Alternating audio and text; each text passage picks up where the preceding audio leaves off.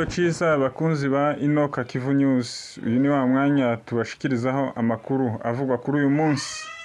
Amakuru yacu turayahera muri repubulika ya demokarasi ya kongo mu misozi miremire. Mu karere ka minembwe barishimira imbangukiragutabara ya- yatanzwe n'ishyirahamwe mahoro association peace ry'abanyamurenge bakorera ku mugabane wa leta zunze ubumwe za amerika. Rero abaturage n'ibyishimo byinshi bavuze kuko imodoka eh, imodokari ya ambulance ikora neza cyane ndetse ejo ku munsi w'ejo mu karere ka kabingo yatabaye abarwayi b'indembe bari baharwariye. Nanone bakomeje gushimira umutwe wa twirwaneho kubafasha kubakangurira gukora imihanda ndetse bavuga kuko imihanda ari nyabagendwa ikibura gusa ari umuhanda wa kaburimbo. Barashimira cyane. Umutwe wa twirwaneho ukomeje kubakangurira kwiteza imbere gukora imihanda ndetse bavuga kuko amamoto n'amamodokari agenda neza nta yindi mbogamizi. Nanone ni ukubishimira. Umutwe wa twirwaneho ukomeje gukangurira abantu ibikorwa by'iterambere. Tukiri nanone imurenge mu minembwe ni uko general andrew uri hariya ukorera uyoboye iriya brigade nanone asa nkaho yazanye umubano utari mwiza wajemo agatotsi nyuma aho nyuma y'aho akomeje kotswa igitutu n'abadashaka amahoro mu misozi miremire ya hariya. Bwana general andrew yatangaje kuko agomba kurasa umutwe wa twirwaneho mu gihe utumvise ibyo leta ibasaba. Nanone tubibutse kuko abishe inyuma y'uwo mugambi ari ba banzi b'amahoro batifuriza imurenge amahoro. Reka nanone amakuru yacu tuje muri nord kivu aho umuyobozi w'ingabo za EAC bwana general Alpha Kibugu aherekejwe n'abayobozi be bamwungirije barimo brigade general Emmanuel Kaputa na brigade general Ndoraringwe Ndoraringonya Gregoire na brigade general Michel Kiputa n'abandi bakozi ku itariki mirongo ibiri na zitandatu z'ukwezi kwa gatandatu basuye ikigo cya logisitike cya kibati mu rwego rwo gusura ingabo za EAC umuyobozi wa kenko colonel daniel lotich ya yakiriye ndetse asobanura force komanda uko umutekano uhagaze ndetse atanga n'igitekerezo cyo gutanga ibikoresho byo gushyigikira ibikorwa by'i- by'imbere n'ibikorwa bigezweho kugeza ubu mu bikorwa by'amahoro bikomeje gukorwa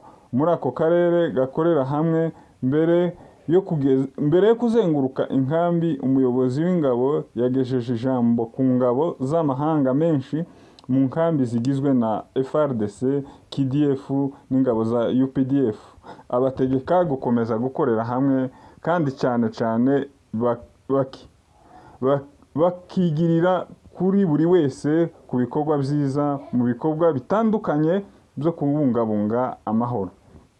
Yakomeje agira ati uruhare mu uruhare mugira hano ni ingenzi cyane mu bikorwa rusange by'amahoro n'umutekano muri kano karere. Kandi anabasaba gukomeza gukorera anabasaba gukomeza gukora neza kugira ngo tugere ku nshingano z'ingabo za EAC nanone andi makuru avugwa mu murwa mukuru wa Kinshasa naho ababibumbiye mu mutwe mu mutwe wa FCC eh, tubibutse kuko uwo mutwe ari uwahoze ari umukuru w'igihugu bwana Joseph Kabila ndetse uwo mutwe bivuga kuko ubangamiwe cyane n'abo mu ishyaka riri ku butegetsi rya perezida Felix Tshisekedi.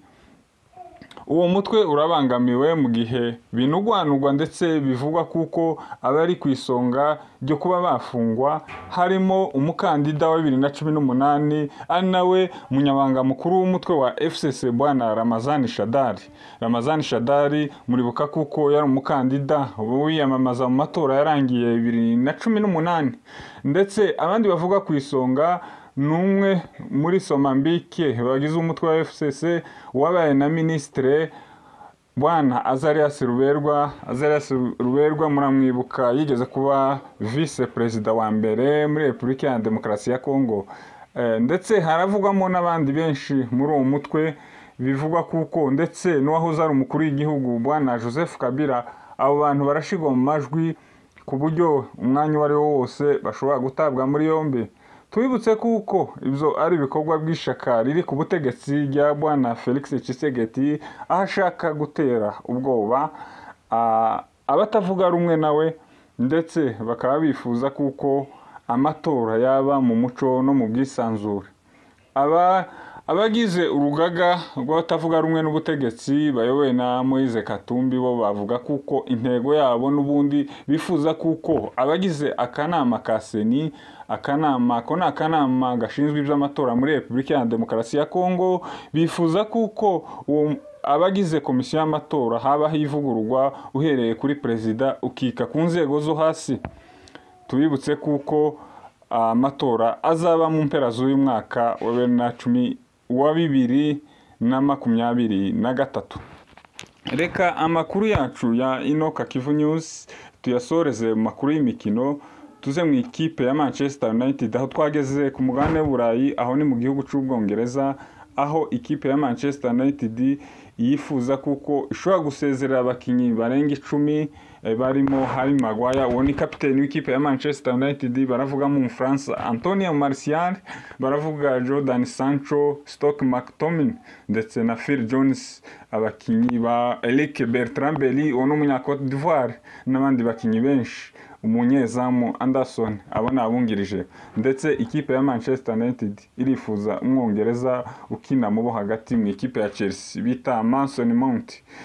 Reka dusoze tubashimira abakunzi ba inoka kivu news tubibutsa gukora share gukora subscribe kugira ngo mukurikirane ibiganiro byacu. Bibutse kuko amakuru mwateguriwe kandi mwagezwagaho na kagigi marcel. Reka nshimire mugenzi wanje eric kadoni wadufashe ku buhanga bw'ibyuma mugire umunsi mwiza.